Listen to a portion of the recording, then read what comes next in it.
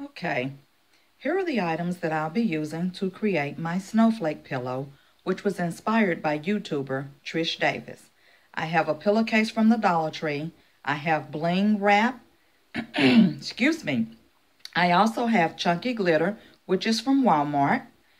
I have some clear stones that I picked up from Dollar Tree. I didn't have any of the um, crystal gems that she used. So I figured I could substitute and use these stones by adding the tacky glue, which does the same as Mod Podge, and I will sprinkle the glitter on top of it. I'll be using my glue gun and glue sticks. Stay tuned for end results.